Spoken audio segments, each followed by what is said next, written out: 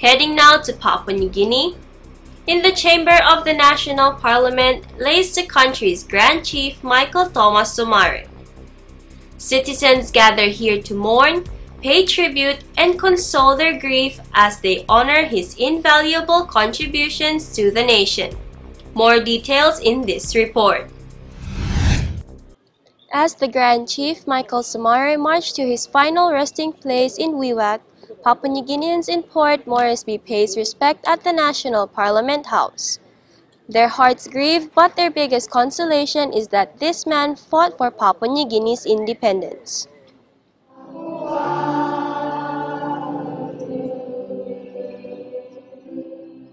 Students from various schools were gathered to remember the fond memories, contributions, and works of the founding father of Papua New Guinea.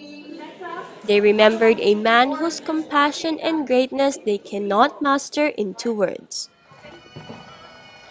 After almost two weeks of having haus krai, a term used in attending a wake, In Sir John Guise Waigani, mourners and followers of Sir Somare, had a convoy from the funeral home in Erima going to the chamber of the National Parliament House to lie in state. In the early morning, the Guard of Honor, the Chief Justice, the members of the Parliament, and other law enforcers assembled in the Parliament House. High ranking officials, dignitaries, members of the judiciary, heads of foreign diplomatic missions arrived one by one to demonstrate their love and farewell to the Grand Chief. Tributes from all of the children in Papua New Guinea were heard and everyone had a story to share about the mournful event. Uh, right at this very moment, we are in front of uh, the National Parliament House of Papua New Guinea. Uh, it's been an honor to have our former Prime Minister and the founder of this country. Uh, today will be the Parliament session has been recalled so that they'll be kept, casket will be kept in the Parliament for five hours.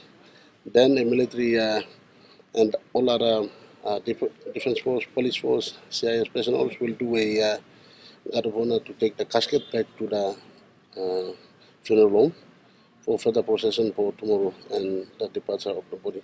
But otherwise, this morning was a wonderful morning for the former Prime Minister and chief, uh, uh, grand chief of this country, the founder of this country, to uh, actually lay the casket in the Parliament House. Oh, his government was so wonderful. He has been four times in Parliament and he's been doing a lot for this country to become independence without bloodshed or whatsoever. For me, my condolences to his uh, immediate family, the people of Karau Murik and Sepik province, where I've been serving at Moem Barracks for over uh, 15 years, and uh, I knew him there almost about 20 years.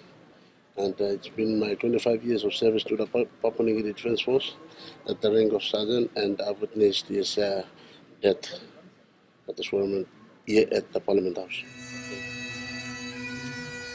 Sir Somare's family was touched by the affections shown by the Papua New Guineans. The sympathy extended to them was tremendously overwhelming.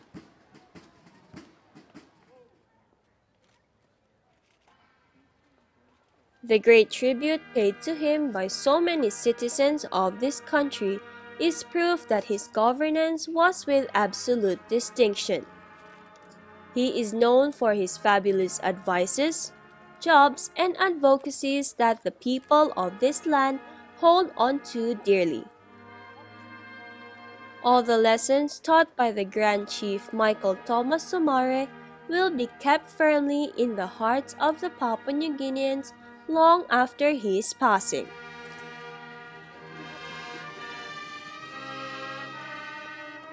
Reporting from Port Moresby, this is Echo Hortaleza Quinola, Eagle News. We live in interesting times.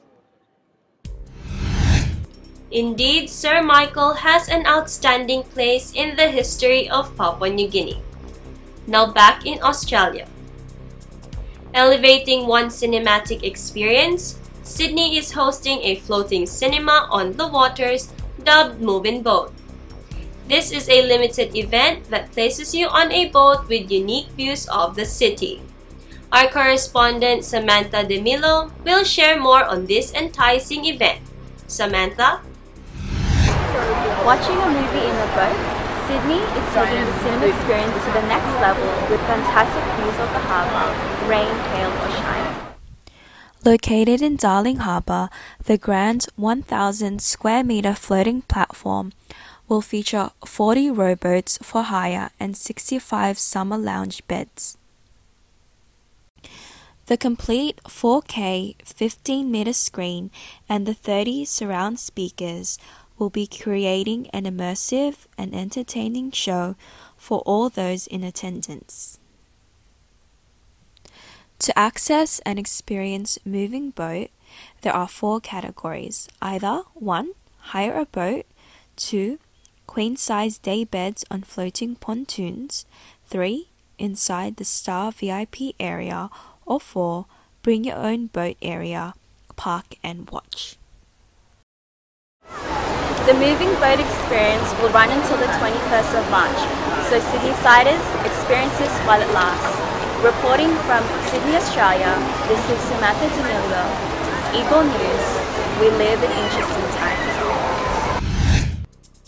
Thank you, Samantha. This event is sure to be enjoyed by avid fans of the cinema world.